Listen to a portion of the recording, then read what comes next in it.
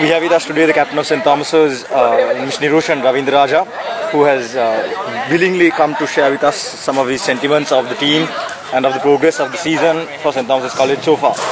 All right, Nirushan, uh, tell me about how the season, how has the season been for you? Uh, it's been quite an up and down season. Uh, we have performed well in patches and then we've not done so well. Looking to be consistent, trying to improve our performance and uh, there's a lot of room for improvement.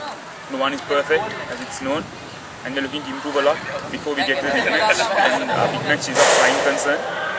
We'll do our best and uh, the best level we take to field uh, at the SSC when it comes to 12th of March.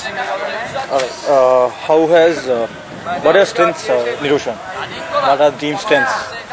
Our main strength as of now is our bowling. Uh, bowling has been our strength throughout the season all this time. We've got a spinner who has taken over 50 wickets, Samar Fonseca. He'll be leading the bowling attack, the spin department. And we also have our vice captain, third year colorsman, Dinesh Valpita. He will be leading the pace attack. And then when it comes to batting, it will be myself and second year colorsman uh, Fahim Salim. He'll be batting the top order. These are like the main players to look forward to this season. And uh, how has being the captain been for you? How has uh, it developed you and your team? How have they responded? Uh, captaincy is always a great challenge. I've learned a lot and I hope to learn a lot. The boys have responded really well. They've supported me in a lot of ways. I just can't put it in words.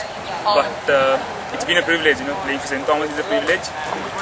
And then captaining it, it's just taking it to 130 better the Blues. I'm to leading my team.